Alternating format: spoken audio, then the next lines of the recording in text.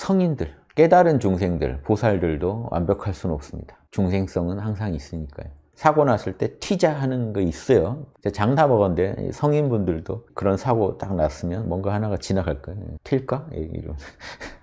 누가 봤을까 나? CCTV 있나? 에고가 본능적으로 나를 지키려고 하거든요. 근데 여기까지는 이해하는 거예요. 여기까지는 중생성을 가지고 있기 때문에 인간이면 누구나 갖고 있는 기본값이 나 위주로 생각해 보기 한번 계산 때려 보기.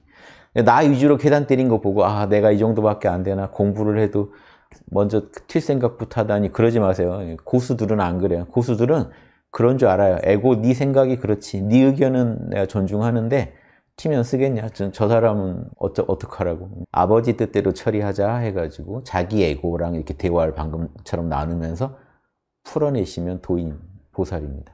에고야, 너 의견은 알겠는데 너는 기본값이 탐진치라 그런 의견밖에 못 내는 거 알고 있는데 그것도 나 위해서 내는 의견이라는 것도 잘 알고 있는데 나만 생각하면 되겠니? 남도 똑같은 난데 남의 에고도 똑같은 소리를 그 사람 마음에서 하고 있을 텐데 우리가 공생하려면 같이 살려면 에고 말대로만 하면은 피해가 발생하지 않겠니? 피해자가 나오지 않겠니? 하면서 이렇게 경영하는 거. 이게 카르마 경영, 마음 경영이. 전 에고한테 자꾸 넌 자꾸 왜 그러니?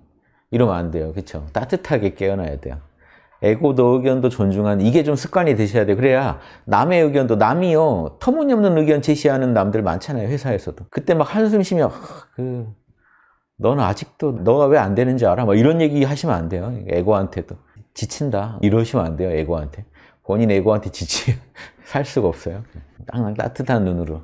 내 에고를 내가 따뜻하게 안 봐주면 남들은 더 지, 친 눈으로 봅니다. 예.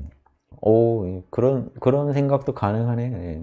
이래야 남들한테도 잘해요. 나한테도 잘해야 남들한테도. 습관을 돌아보셔야 돼요. 나를 존중해 주다 보면요. 남도 존중하게 되니까. 얼마나 이게 카르마 경영에 좋은 방법이에요.